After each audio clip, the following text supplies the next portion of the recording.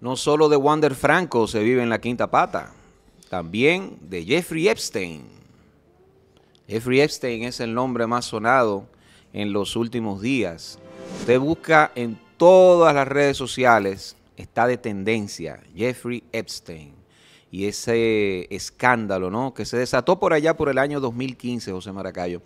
Ese escándalo lo sacó a la luz esas investigaciones que venía haciendo y de las cuales se enteró Jeffrey Epstein y que la, gracias a su poder las pudo bloquear, inclusive al periodista que voy a mencionar lo sacaron de la cadena televisiva donde trabajaba. Hablo de Ron Farrow. ¿Quién es Ron Farrow? Hijo de Woody Allen y de Mia Farrow. Él fue quien sacó eh, a la luz las, las jugadas oscuras del señor Jeffrey Epstein con eh, los servicios sexuales con menores de edad que le ofrecía a gente poderosa. Él fue acumulando todos esos casos y explota en el año 2015. Primero lo publica en un modesto periódico de New Yorker. Digo modesto, en el sentido, en el sentido de, la circulación, ¿no? Mm. Es de, de hipsters, es de, de gente de la clase media alta, digamos, de lo más, eh, de la gente rica desinhibida, pero que no tiene una circulación masiva como el New York Times, que después se hace eco de la investigación que hace Farrow. Y eh, ya sabemos, ese escándalo con Epstein es lo que eh, genera luego lo que conocemos como la ola del Me Too. A partir de ahí. Entonces, eh, Jeffrey Epstein, que ofrecía, que era un magnate, que se hizo de muchísimo dinero, que se sabía que era un tipo de clase alta, pero mucha gente no se explicaba cómo este señor luego amasaba una fortuna tan grande, tan grande, porque no se reconocía como una actividad de él intensa a nivel monetario, pues eh, se va dando cuenta uno que tenía una red de prostitución muy grande y también soportada por su pareja, su novia, su amiga, ya uno no sabe cómo describirla, a Ghislaine Maxwell, que colaboró eh, decididamente con él y que fue condenada eh, hace un par de años a 20 eh, años de cárcel. Eh, Epstein fue, fue encontrado sin vida en su celda en el año 2019, poco después de haber sido apresado, por un aparente suicidio, un aparente acto de quitarse la vida. Eso no ha quedado aclarado. Fue en pleno gobierno de Donald Trump, del cual también en un documental que está en la cadena Netflix. ¿Por qué se pues, dice supuesto? Porque hay dudas de que él mismo se quitó la vida. Lo digo, lo digo solamente para guardar, para hacerlo de forma oficial, pero no es lo que yo pienso. Yo pienso que un hombre con tanto poder y con tanta información, un hombre que se dedicaba incluso hasta a chantajear a gente de poder, preso, más, eh, digamos, con eh, bien, bien falible, en condiciones de vulnerabilidad más bien, quitarle la vida en una cárcel sería mucho más fácil que hacerlo en libertad. tú, piensas que... Yo pienso que, a él lo mandaron, a, él lo mandaron, a él lo mandaron a, suicidarse. Eso es lo que yo pienso. Pero no es una versión que está, eh, ¿verdad? Que no es una versión que está oficializada. El asunto es que el señor Epstein ha tejido, tejido toda esa, esa maraña. Y em, hay muchos poderosos que están asustados. Recuerdo a el comediante, ¿cómo se llama? Ricky Gervais. Ricky, Gervais, ¿no? que fue cancelado, que fue el, quizás el conductor más ácido y para mí el más lúcido de ceremonias de premios de Hollywood, en este caso el Globo de Oro, cuando hizo un chiste a, toda esa gente. Dijo, toda esta gente poderosa aquí, ¿eh? gente de dinero, tiene miedo de un nombre. Algo así, ¿eh? no se pasa. Ron Farrow. Ron Farrow fue el que destapó todo eso. Todo lo que estoy diciendo, ¿no? Mi madre. Imagínate, hijo de, Woody Allen no quiere saber de Woody Allen y lleva el apellido de su mamá porque ya sabemos, ¿no? Lo que pasa con Woody Allen. El tema, señores, es que ha salido ese listado que ha, que ha liberado la jueza Loreta Presca. Loreta Presca ha ordenado que se vayan eh, eh, abriendo los documentos y van poco menos de mil páginas, van 900 y algo de páginas de los, de los documentos y se hace mención por lo menos 50 veces del ex presidente de Estados Unidos, Bill Clinton. Sí, más de 50 veces. Creo. Sí, más, exacto. Eh, por, eso, por, eso, dije por lo menos.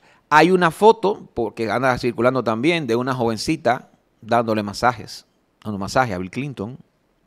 Eh, la, la que motorizó una demanda contra la novia de Epstein, Ghislaine Maxwell, eh, llama Virginia Giuffre, eh, fue la que dio, digamos, la que ha dado eh, todas las muchísimas informaciones y ha dicho que eh, conocía de que Bill Clinton las prefiere jovencitas, las prefiere menores de edad.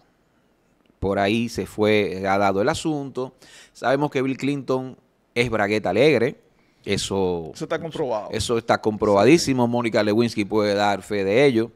Em, el tema, José Maracayo, que además de los nombres que se han dilucidado, que son grandísimos, y listas que no han sido confirmadas, que tiene nombres desde Stephen Hawking, el, el científico, ¿eh?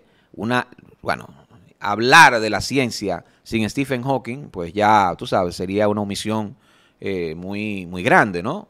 Un error muy grande. Hasta gente de la izquierda y símbolo de la austeridad y de la, y de la decencia y la resistencia estadounidense, como Noam Chomsky.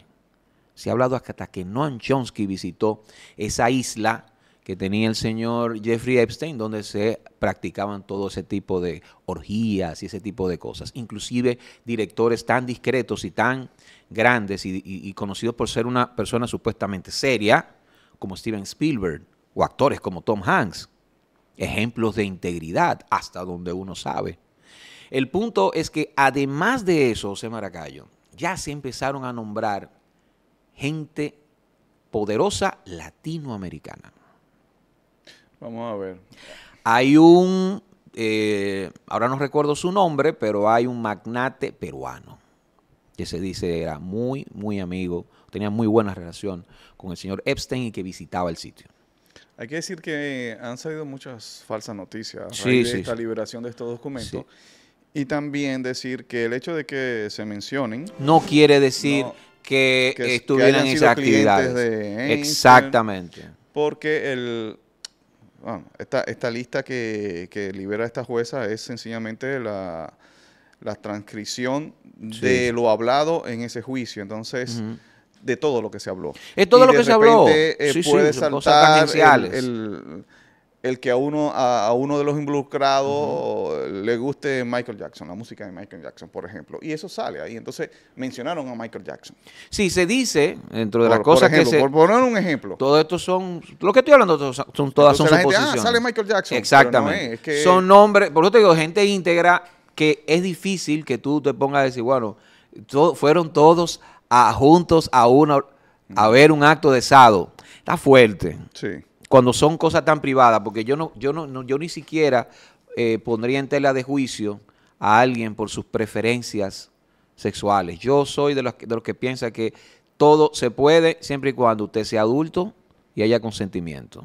Yo digo eso. sí. El punto es que se habla de los latinoamericanos, pero hay dique dominicanos. ¿Qué Ella está dominicano? hay dominicanos mencionados en esto de que visitaron o por, por lo menos tuvieron alguna relación tangencial con Jeffrey Epstein. ¿Cómo quién? Todavía no se ha dicho. Todavía no se ha dicho. Por ejemplo, Pedro Casal se está diciendo que creo que a finales de este mes él va a revelar nombres. No sé hasta dónde es cierto. No sé, no sé, no sé hasta dónde va a cumplir su promesa. ¿Quiénes serían? Pero es que los documentos están revelados ya ahí, están, todo el mundo tiene acceso a eso. No, pero son, pero se están liberando, Maracayo. Hay 900 y pico de Ah, páginas. ya, Todavía ya, no se ha liberado todo. Por eso te estoy diciendo, es una parte. Eso es una parte. Entonces está diciendo Pedro Casals, anunciando como, como, dando como su trailer y eso, de que vienen nombres y que hay dominicanos ahí poderosos que están mencionados. Pero están mencionados. Eso no quiere decir que sea algo malo.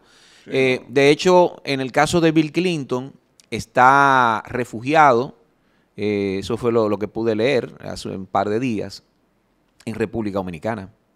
Está en. Punta Cana. Refugiado. Sí, refugiado. Mm. Así decía el artículo de la vanguardia. Y yo lo voy a acuñar. Y además, eso nos pega a nosotros ahora en el corte. Está refugiado en Punta Cana, en la casa, en una de las casas de veraneo que tiene por todo el mundo, imagino, o gran parte del mundo, Julio Iglesias, que es muy amigo de Bill Clinton. Mm. Entonces sabes- está por aquí. Tú sabes que viendo el, el mayor afectado de, esto, de este asunto es Bill Clinton, que desde cuando salió el documental eh, fue bastante mencionado allí, ¿no? Porque hay que decir algo, eh, estos nombres se habían ya mencionado en, en el documental, lo único que no teníamos nada oficial como ahora, como estos documentos oficial que libera la, la jueza. Exactamente. Pero sigue siendo el mayor afectado Bill Clinton de este asunto. Y Donald Trump sale bien parado, porque ya vemos en el documental se dice, bueno, Donald Trump visitaba la isla. Ahora, en el documento se aclaran muchas cosas. Es decir, eh, que sí, se aclara y se dice que Donald Trump fue, pero que no, no quiso recibir ninguno de los servicios. Eso, de alguna manera, pues lo deja bien parado. Y Michael Y- Jackson también, dije que fue a la isla y no recibió ningún servicio. recibir ningún servicio. Pero en el caso de Trump, y ahora con esto de las elecciones, pues esto le puede servir Estaban locos por pescarlo ahí. le, pueden, le puede servir a favor de Trump en las elecciones. El, el único, lo único malo que cometió Trump en esto fue que aquella vez en el, cuando salió a la luz esta, estas acusaciones, él mintió, dijo que no, él dijo que él tenía como 15 años que no se reunía con Einstein. Y luego entonces salieron unas pruebas donde él estaba en una fiesta Sí, eh, pero- con él. con- exacto, con- mintió en eso. Sí. Pero él, eh, se, se dice que ellos tuvieron como un problema.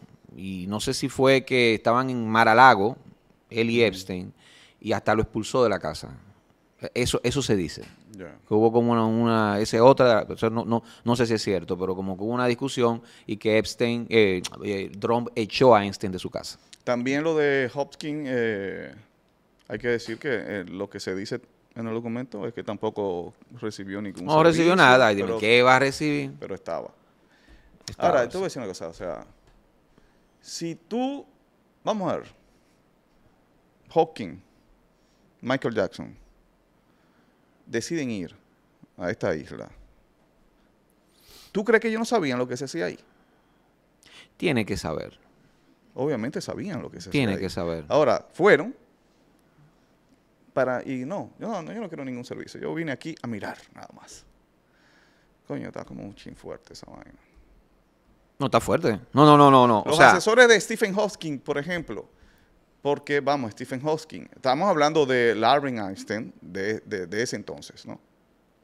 Es así la línea científica. sí, sí, claro, Albert Einstein, Eh, porque él llevó, él llevó más allá lo de la teoría de la relatividad. fama- por lo menos en fama es así. Claro. Ahora, eh, lo otro lo pueden discutir los científicos, que nosotros no tenemos ese... ese- No, yo no tengo esa ahí. Pero en fama, Albert Einstein, Stephen Hawking. No, y de importancia, porque, óyeme, el prólogo de, de la, de la breve teoría del tiempo lo escribe uno de los grandes divulgadores científicos, que es Carl Sagan. Carl Sagan no iba a hacer prólogo a un fake Claro. de científico. Claro, esto, esto significa que este hombre eh, eh, tenía que tener una, una asesoría de su imagen y, y de todo. Habían unos patrocinios, unas, em- unas empresas patrocinando a Stephen Hawking que lo patrocinaban en todo. No sabía lo que se, hacían ahí- lo que se hacía ahí. Seguro que sí. Es que seguro. O sea, lo que es que Jeffrey Epstein se manejaba eh, entre los círculos más grandes.